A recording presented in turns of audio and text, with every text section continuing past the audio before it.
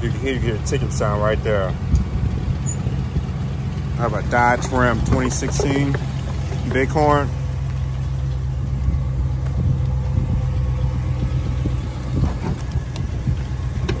Let me see if I put the on the gas, it make a sound.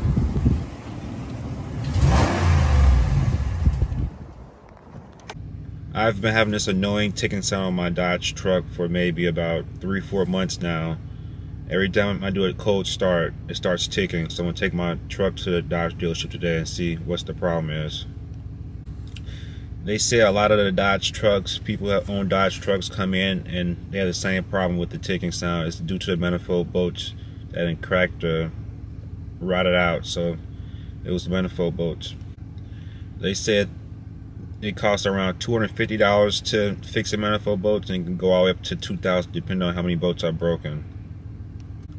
As long as your check engine light isn't on, you shouldn't have to worry about anything going on with your engine. It's just the manifold bolts.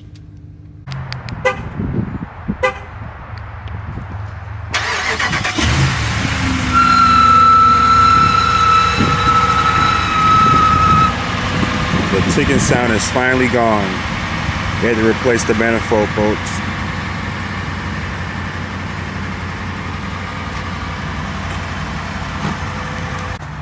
Uh, As you can see, you cannot hear the ticking sound no more. It's nice and quiet.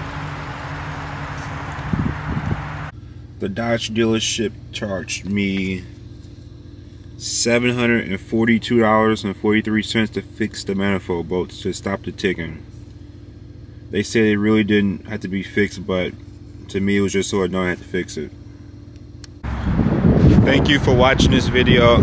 Please like and subscribe for more content. Don't forget about the giveaway.